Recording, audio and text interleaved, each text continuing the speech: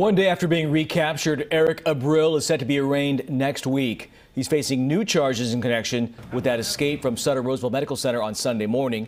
There he is being taken into custody. He's already charged with killing a hostage and injuring another, along with a CHP officer at Roseville's Mahany Park back in April. The sheriff's office has not re revealed any new information about how he was able to escape.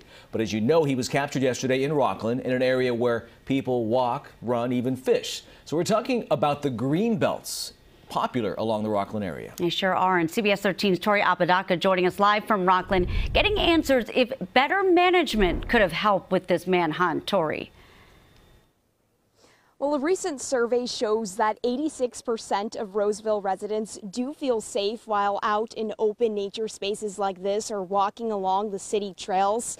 But even though the suspected murderer, Eric Abril, was found hiding along this green belt, people tell me that it's not going to stop them from coming out here, but it does have them questioning if the overgrown vegetation you can see around me did impact the manhunt.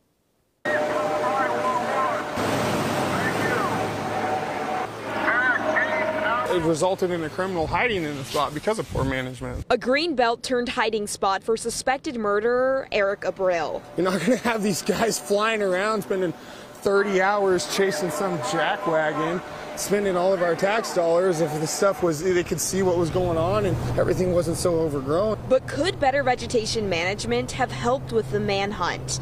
The answer, not quite. The Rocklin Police Department says even if all the vegetation was clear, the creek bed still has cutbacks on the walls, which someone could hide in. So there's always uh, the one-offs or the anomalies that could happen, but overall they're very safe. You know, feel very safe out here. Disc golfer Todd Mitchell says even in the midst of the manhunt, for all of us playing, there was really no concern. We were just we weren't worried about someone, you know, out here. It's supposed to be protected land, or it's just nature, and you want it to remain that way. We don't want to litter it with signage, you know, and things that would take away from that. But cutting back brush with sheep and goats, plus creating fire breaks, is still a priority. Yeah, it's sad. You know, we want to, you know, raising a kid in the area. You want him to be safe. The recent manhunt does have some walking with just a little more caution while on these trails. I definitely would not let Allie out here, my wife out here, go for a run without my dog or me.